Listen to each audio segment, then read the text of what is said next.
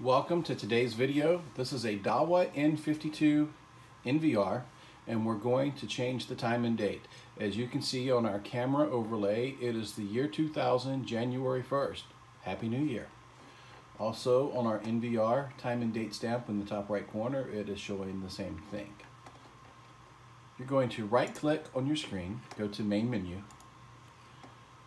come down here to system setting, and you're on the general tab and you want to click time and date. There's a couple things you need to do here in order. It's not intuitive because it's not in order on the screen. Um, you want to unselect NTP. Um, this will sync the time to your ISP or your server, but sometimes that is incorrect. So we're going to uncheck that. Next, we need to set daylight savings time. So we're going to check the box and we're going to set this for week instead of date.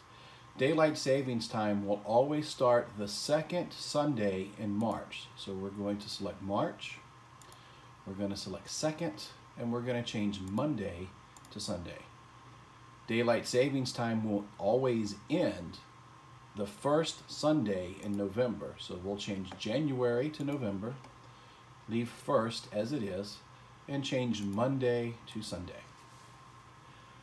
Okay, our next step is to come back up here to the GMT. Out of the box, the Dahua recorders are set for GMT plus 8. So you want to select the correct GMT for your time zone. I'm on the East Coast, so we're going to select GMT minus 5. And we're going to click Save. The next step is we want to come over here and manually enter the correct date and the correct time. The reason for doing the GMT first is if you set your date and time and then you change your GMT, it will automatically forward or reverse the time and date according to the time zone. So always change your time zone first and click save so you can make sure it's in place. Now we're going to come over and correct the year. This is 2019. This is March 18th.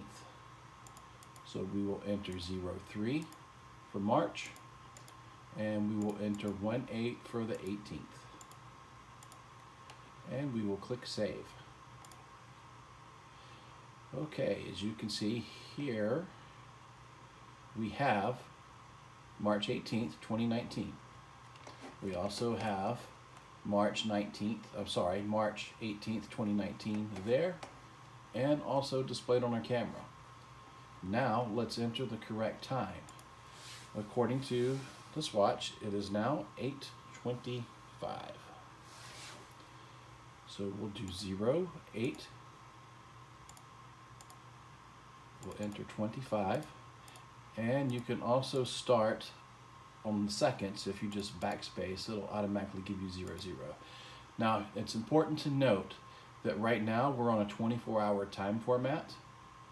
So if this was 8 in the evening, you would put this in as military time, so it would be 2025 instead of 0825. You could also change this to a 12 hour clock, and then of course you would still have 8. Alright, once you've entered your correct time, you go ahead and click Save. And you can see that has updated for the NVR and it has also updated for our camera overlay. At this point, you will click apply and OK. And you can right click and exit all menus.